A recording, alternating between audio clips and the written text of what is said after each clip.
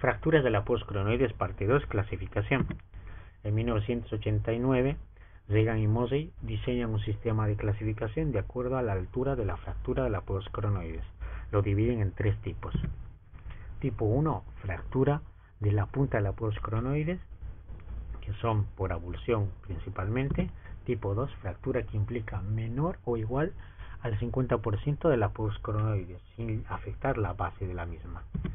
Tipo 3, fractura que implica mayor al 50% de la postcronoides, afecta la base de la postcronoides, además de la inserción del braquial anterior. Otro autor que es O'Driscoll, que propone en función de la ubicación y el número de fragmentos cronoideos. Lo va a dividir en tres tipos también y esta se subdivide a la vez, cada tipo. El tipo 1 de la punta se subdivide en dos. 1 menor a 2 milímetros de la altura coronoidea, 2 mayor a 2 milímetros de la altura de la coronoides.